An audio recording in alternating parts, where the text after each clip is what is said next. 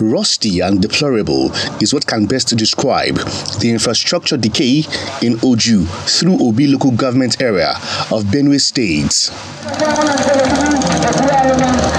From the failed federal road that runs from the newly constructed Oweto Road through Agatu to Otukpo local governments, where the project was abandoned, residents of Oju and Obi have for the last 30 years lived in anguish.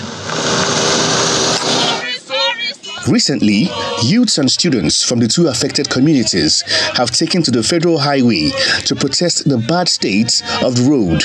If you are coming from Makurdi to Oju, there is no road.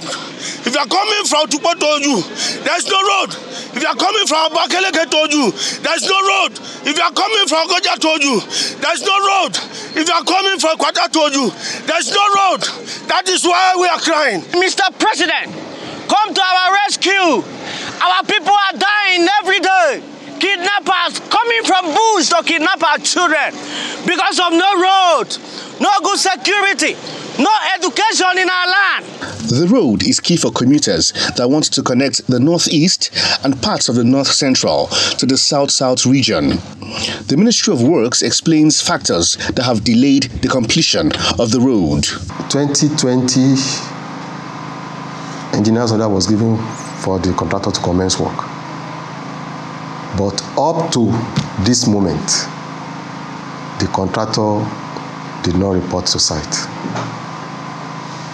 This has been reported by my predecessor to our headquarters, which I hope they are working on it.